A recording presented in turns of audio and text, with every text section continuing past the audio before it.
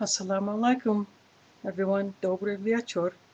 The chocolate hijabi is here with uh, another prayer request for the same person I had uh, everybody adding to their dua and their prayers before. My friend Anna in Texas, who uh, makes and sells hijabs when she's able to. But this time I am asking that all of you pray for her as she has to fight a discrimination battle. She is now unemployed because after she had her surgery, her now former employer decided to cut her loose. And it is not just because of her health, it is because she is a Muslim. It is illegal under the Bill of Rights of the U.S. Constitution to discriminate against anyone based on religion in matters of housing, employment, access to other public services, and in travel. But that is exactly what is going on here. Her husband, too, was cut loose from his job some time back just because he's Muslim. So now both of them are having to fight this. But Anna is facing it also because of her recurring health issues with uh, her cranial surgery, and she is still having difficulties with that. And so the physical healing is still going on. That will take some time, and it will take more dua, more prayers from uh, all of our brothers and sisters in Islam and in humanity. But the main thing is we as an ummah need to step up and do something about this discrimination.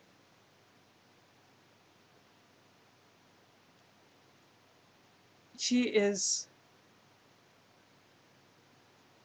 going to bat not alone, but she has legal counsel there with her in Texas who is helping her. But she needs our help and our prayers. And we need to step up and step out to stop discrimination just because of your religion. We also need to continue to fight for the rights of the disabled. There are places in this country, even in my city, that are not accessible. Not only wheelchair accessible, but accessible for blind users, for deaf users. For instance, not every television is capable of subtitling or closed caption service. The newer TVs can do it, yes, but uh, if someone has an older TV and wants to watch a program, they would have to purchase a separate box or some kind of service to do that. Not every house of worship is accommodating to, for instance, deaf members. When I used to go to the Catholic Church, there was a signer only on special occasions, such as a priest ordination or other big uh, celebration where you would expect more diverse people to show up. only then was a signer available. And not all houses of worship are accommodating to blind people. Those you know, places that use music, for instance, do not always have the words to the songs or words to, for instance, selected scripture readings available in Braille. You'll have to excuse that little bit of fuzz. My cat just uh, jumped across my keyboard. But uh, anyway, going on. Fortunately, the small masjid that I go to is adapted for the physically disabled. Although there are steps to get up to the prayer room and down to the social hall, there is a step lift or a chair lift. And what this device is, it runs on its own rail and the user sits on it and pushes a button and the lift will go up and down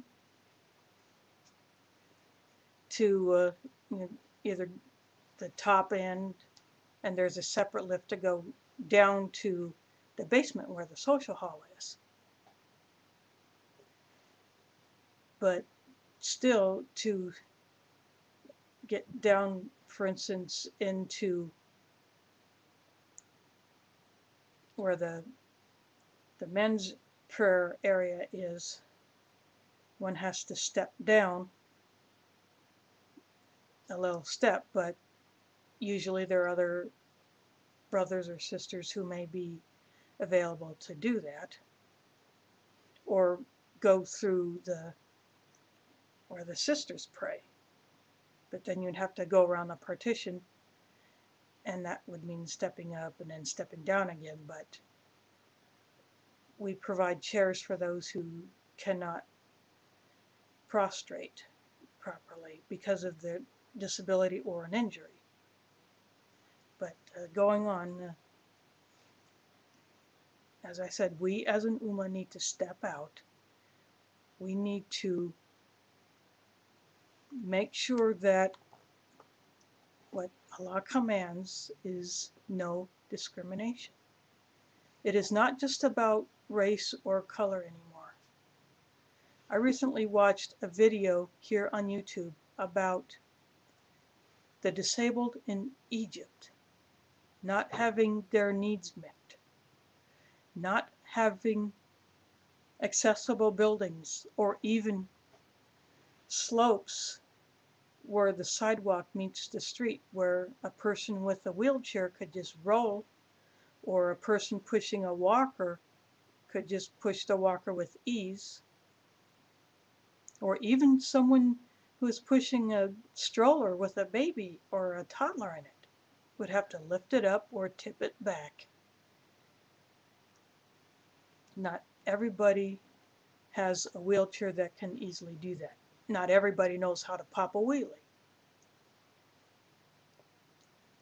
Not every place has ramps to get into buildings next to the steps or on another entrance.